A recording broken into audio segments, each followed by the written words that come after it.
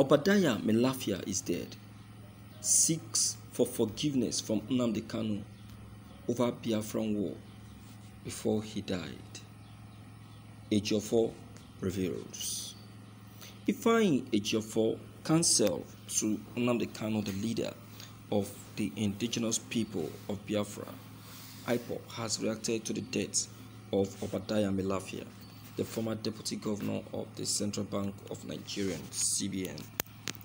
Ejiofor said Mailafia sought for forgiveness, peace, and reconciliation for what Nigeria did to the Igbos during the Biafran Civil War. He also disclosed that the former presidential candidate wanted the Middle Belt to apologize to the Igbo over their role during the Biafran War. In a series of tweets, Ejiofor wrote, The sad news of the sudden demise of Dr. Mailafia hit me with a great shock. I could not believe it until I made a call to close contact who confirmed it was true. Hmm. What is life? But fleeting moments. Today we are here, tomorrow we are no more. Permit me to say that Dr. Mailafia is a fine gentleman who stood on the side of the truth.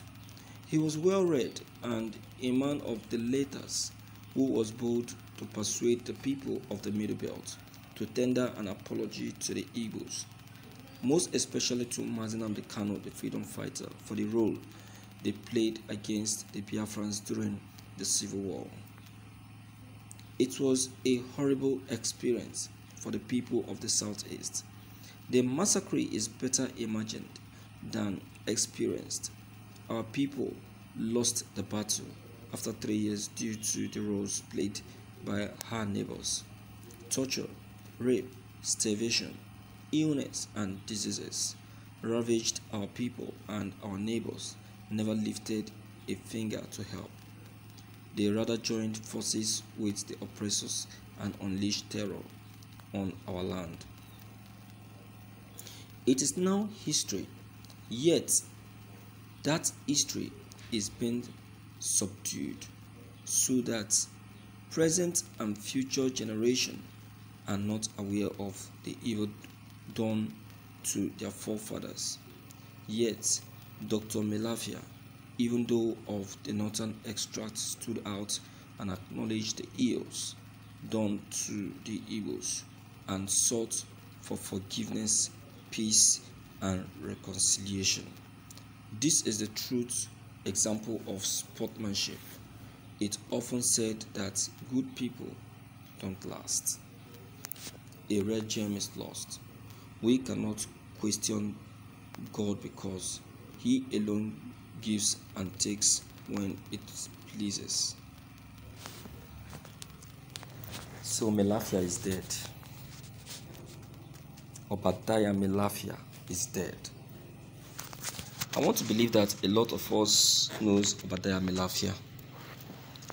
It is that same deputy, former deputy governor of CBN that revealed the truth, the truth of who are the sponsors of the Boko people. He is the first to reveal it.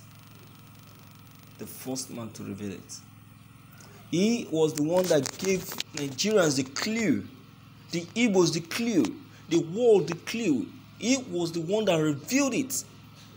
All the while, everybody has been looking and watching and be saying, Who are the sponsors? We don't know the region, we don't know the person, we don't know the people. We don't know if it's a, if, it's an Igbo man. We don't know if it's a Yoruba man. We don't know if it's a Northerner. But Obadiah Mailafia came up and reviewed the region for us so that finding them is going to be easy.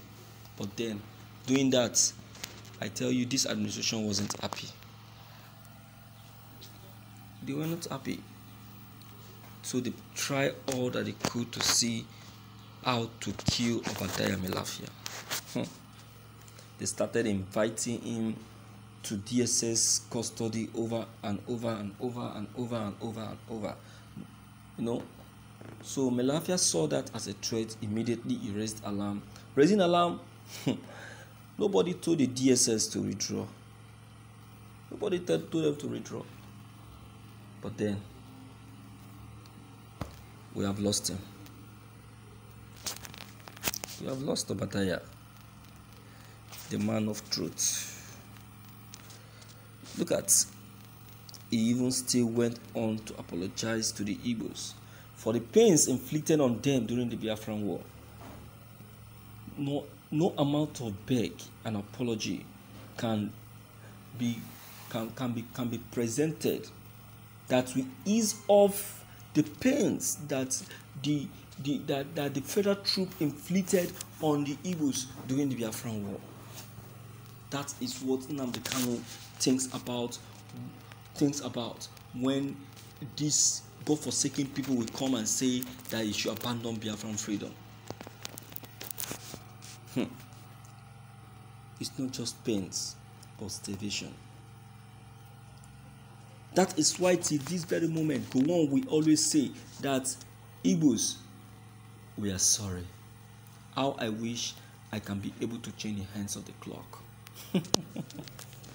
Gowon happens to be the chief architect of the whole show of the pains the Igbos passed through in the southeast during the Biafran War.